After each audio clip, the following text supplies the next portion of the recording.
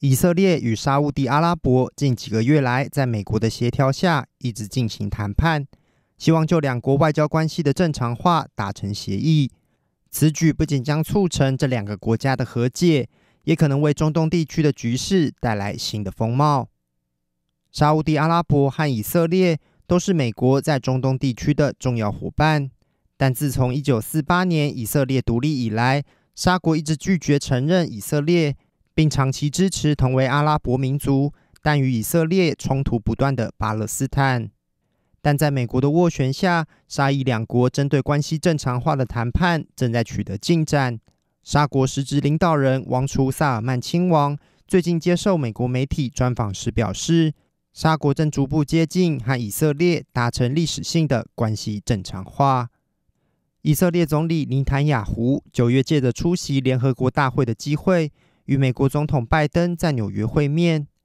尼坦雅胡表达了与沙国关系正常化的重要性。I think that under your leadership, Mr. President, we can forge a historic peace between Israel and Saudi Arabia, and I think such a peace would go a long way first to advance the end of the Arab-Israeli conflict, achieve reconciliation between the Islamic world and the Jewish state, And advance a genuine peace between Israel and Palestinians.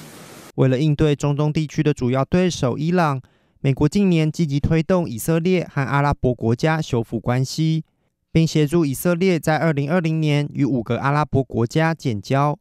拜登去年甚至搁置了与沙国在涉嫌谋杀《华盛顿邮报》异议记者哈绍吉上的争议，亲自访问沙国与萨尔曼亲王会面。另一方面，沙国今年在中国的协调下，与区域劲敌伊朗恢复了外交关系，反映出中国在中东地区的影响力日益增加，更提升了美国巩固与中东盟友关系的必要性。尽管以色列和沙国都对达成建交协议表示乐观，但美国想要成功促成两国关系正常化，仍充满挑战。首要问题是巴勒斯坦问题，沙国长期以来孤立以色列。就是为了支持巴勒斯坦能独立建国，并支持东耶路撒冷作为巴勒斯坦的首都。但在鹰派的尼坦雅胡去年上台后，以巴冲突持续加剧。以色列执政联盟中多位极右派人士也推动在巴勒斯坦议题上采取强硬立场。因此，尼坦雅胡在巴勒斯坦议题上是否会让步，将是沙以两国建交谈判的重要关键。萨尔曼亲王也在接受美国媒体专访时，强调解决巴勒斯坦问题的重要性。There is approach from President Biden administration to get to that point.